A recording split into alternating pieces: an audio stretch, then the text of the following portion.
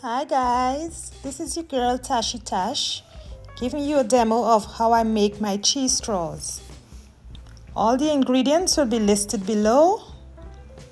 If you like this video, please give me a thumbs up and don't forget to subscribe. So without further ado, let's jump right into this video.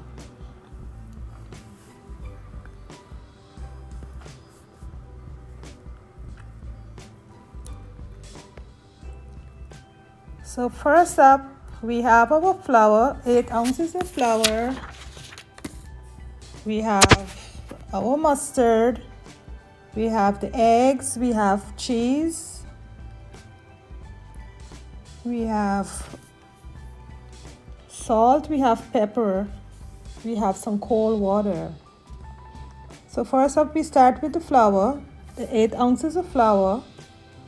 And we add our butter so we'll use 6 ounces of butter, 4 plus 2.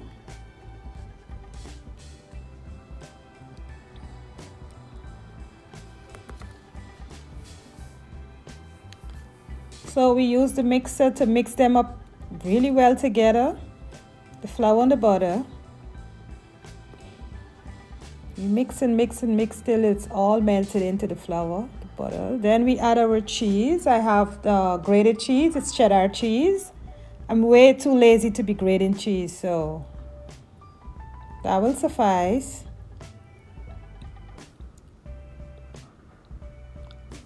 So once we've added the cheese, we add some salt, one tablespoon of salt.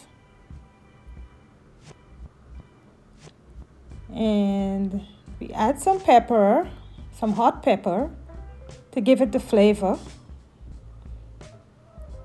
Yes.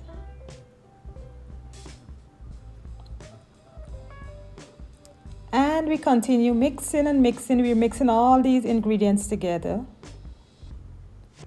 Some people use their hands, but I prefer to use the mixer. So either way it's good. Then we add our tablespoon of mustard. Our two eggs. So we use the yellow of the egg the yolk of the egg. We separate it from the white or we separate the white from that and then we continue mixing.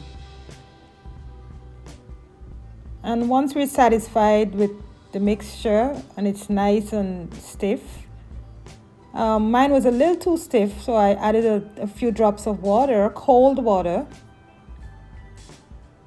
Yeah just a little bit of water. You don't want to make it too soft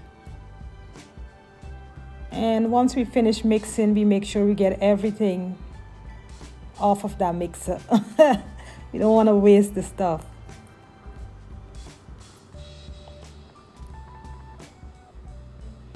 And then we line our pan with the wax paper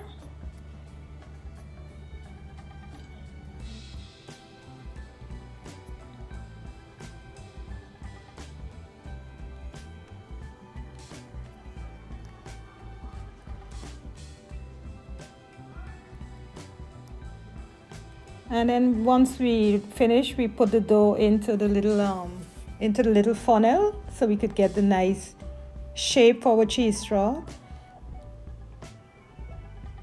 And we fill the, our pan with the dough.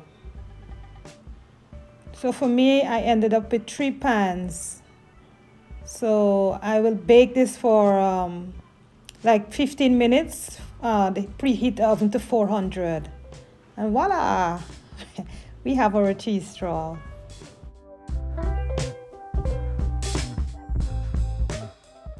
Thank you for watching and stay tuned for more videos like these. Love you guys and happy Thanksgiving. Bye.